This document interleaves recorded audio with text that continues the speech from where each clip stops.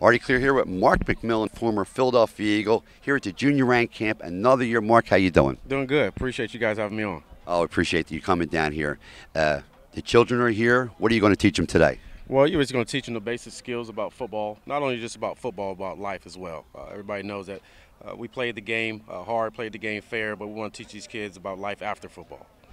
Life after football, I understand that. What about life during these type of camps and when, how young they are? What type of impression you're going to try to make on these children? Well, just try to show them that hard work does pay off. Um, obviously, with my size, a lot of kids when they physically see me, uh, you know, it gives them a little bit of hope as well. So hopefully, uh, you know, it might be that kid that's sitting in the back. There's people saying that he can't do it or he can't make the team.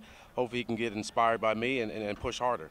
I think that's, that's your your height and everything about you is such an inspiration for all the kids out there because you're not the biggest guy, you're not the strongest guy, but you led the NFL in interceptions one year, so you had to do something right. Go to a great College of Alabama to defend the national champions.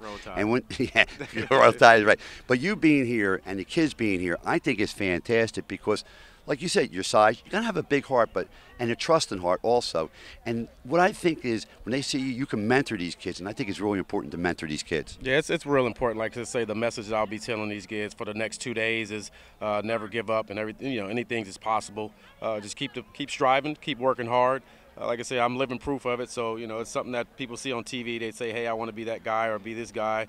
Uh, I'm walking proof that it, it can happen uh, if you put in put in all the work. Well, I'll tell you what, taking a look at you, you're right, it can happen. You're a special guy, and you do a great job here at Junior Rank. And I want to thank you so much for giving us this interview. Mark McMillian, Junior Rank, ex Philadelphia Eagle, great guy, and thank you. I appreciate it, Artie. Thank you.